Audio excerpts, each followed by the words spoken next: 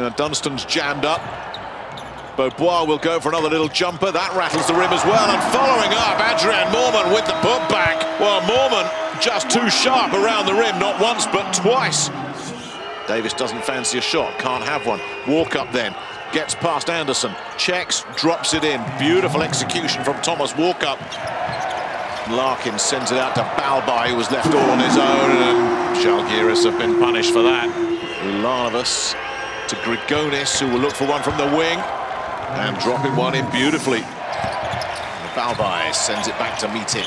Micic trying to drive his way in, nothing doing, so he sends it back to Adrien Moerman. Kavaliauskas, Davis under the rim, drops that one in. There is a whistle again. Jankunas missing, Davis was there. Davis collects it again, and there's some discontent in the arena as Brandon Davis wins another big rebounding battle. Beaubois sends it out to Pleiss, who's got time and is able to execute. And there's a beauty. Nate Wolters makes it a 20-plus point lead now for Žalgiris.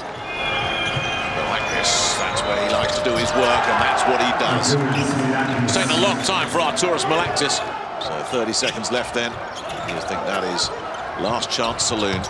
Micic goes for a triple, drops it in. They still haven't given up. Last few seconds, then Walkup with a sling that one in, and it's dropped as well.